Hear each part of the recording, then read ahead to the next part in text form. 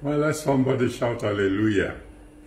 I bring you greetings in the mighty name of Jesus, and I want to announce to you that in the mighty name of Jesus Christ, all your prayers during this period of fasting will be answered by fire.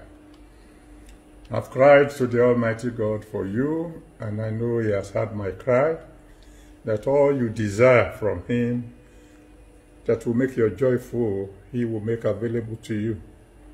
It's going to be well with you, and this will mark a brand new beginning for you in every facet of your life.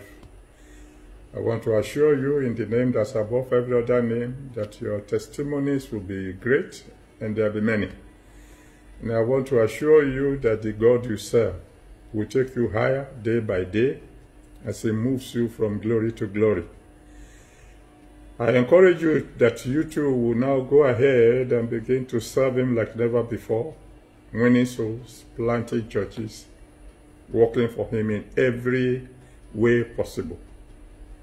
And by the way, I want to assure you that there's no virus that is going to come near you at all, because it is written that uh, they that dwell in the secret place of the Most High shall abide under the shadow of the Almighty.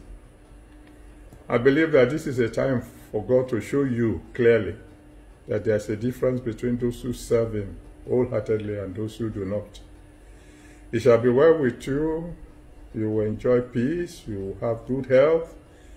The great promoter will promote you. And each time I hear concerning you, it will be good news. God bless you and congratulations once again. And I pray that you'll be sending your testimonies to me very soon. In Jesus' mighty name. Amen. Let somebody shout another hallelujah.